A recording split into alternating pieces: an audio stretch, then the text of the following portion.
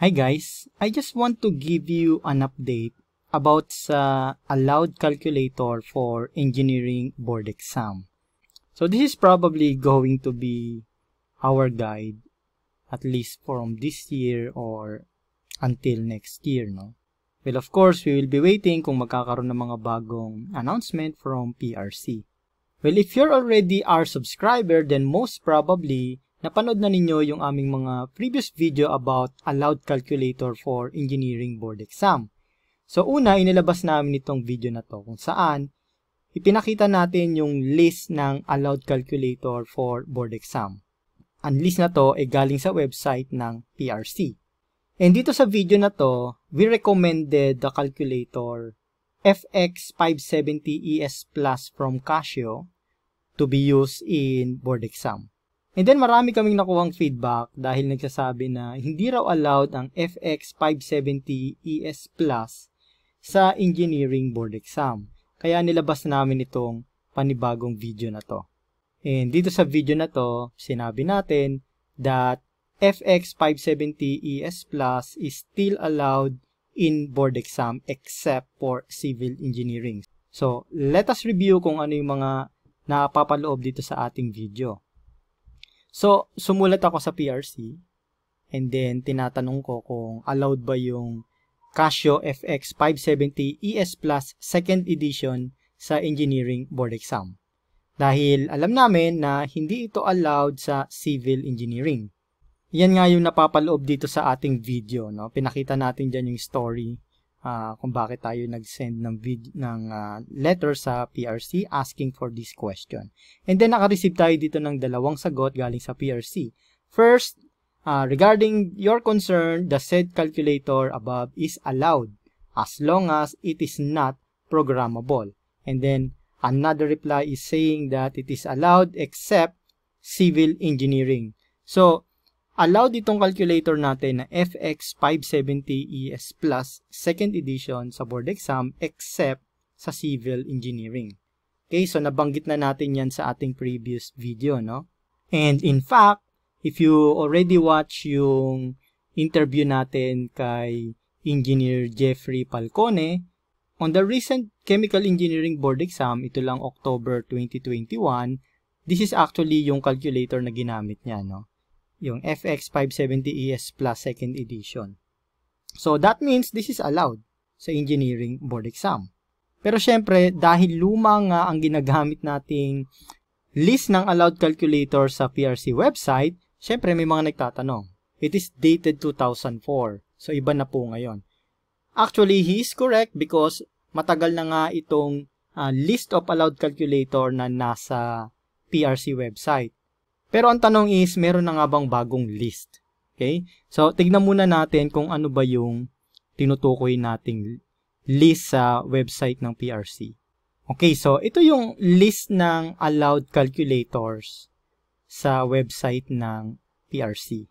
Okay, so makikita ninyo dito yung uh, mga allowed calculator. Pero, this is published or dated March 4, 2004.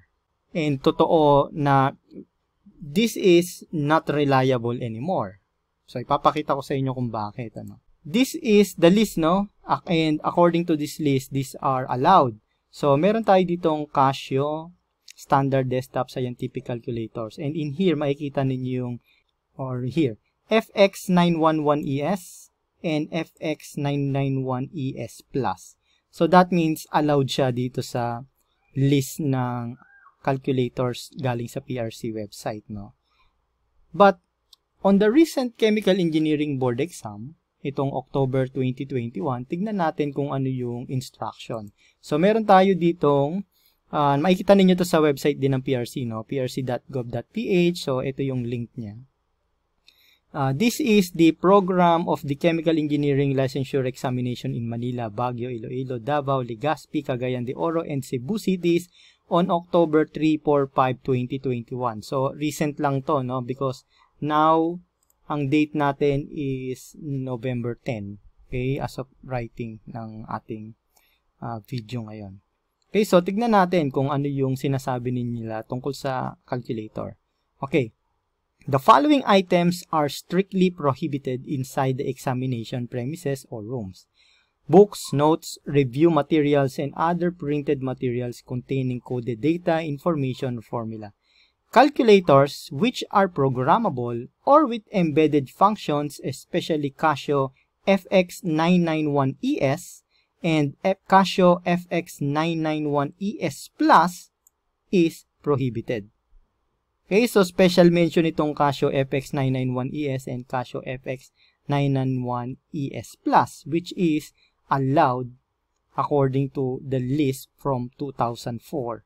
So that means hindi na siya updated or hindi natin siya pwedeng gawing batayan ng mga allowed calculators. So ano yung pwede natin gawin, no? So so of course, what we can do is to ask PRC kung meron ba silang updated list. So yan ang ginawa natin.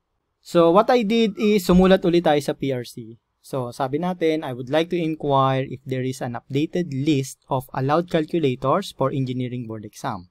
I am trying to search on PRC website but the list was old, dated since 2004. The only updated list found is for civil engineering board exam. Is there any updated list for engineering board exam in general? Thank you very much. Hoping for your response. So, yung sinasabi natin dito ang updated list only for civil engineering. Naipakita ko na rin yan sa previous video natin, ano? Pero ipakita uli natin. So, ito yung list ng non-programmable calculators galing sa PRC website, but this is specifically for civil engineer lang. So, you cannot uh, use this as a basis sa ibang engineering board exam. Kaya dito, makikita mo, wala dito yung FX 570 ES Plus second edition. Okay, because FX 570 ES Plus is not allowed in civil engineering board exam. Okay, so ito na-release lang ito last year lang which is May 2020. So hindi na inallow yung calculator na FX 570 ES Plus. So yung civil engineering, meron silang updated list. Nandito yan sa website ng PRC, no? Makikita ninyo dito sa link na yan. Pwede nyo bisitahin. Pero dito sa ating letter, naghahanap tayo ng updated list for engineering board exam in general, no? So, lahat ng engineering field.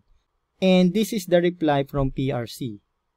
Okay, the list of allowed calculators on PRC website is not updated. Kindly bring and use other non-programmable calculator to prevent problems on examination day. All calculators used by examinees are subject for inspection of room watchers or floor supervisor and building supervisor. So, we cannot really use yung nandun sa website ng PRC because hindi nga siya updated. However, we can use this guide kapag uh, bibili tayo ng calculator or gagamit tayo ng calculator for board exam. Make sure na ang bibili nating calculator is not programmable. Okay, so that will be our basis kung ano yung calculator na allowed for board exam. We cannot really rely dun sa list na nasa website ng PRC. And for now, wala pa rin tayong updated list ng mga allowed calculator for engineering board exam. Now, kung meron kayong mga tanong, kung gusto nyo malaman kung allowed ba yung calculator na to or ganyan, then maybe you can ask directly yung PRC. And they are really responding fast. So, katulad nitong nakikita ninyo dito, no? When I send my mail, they respond after 30 minutes. So, hindi siya matagal. Mabilis silang sumagot.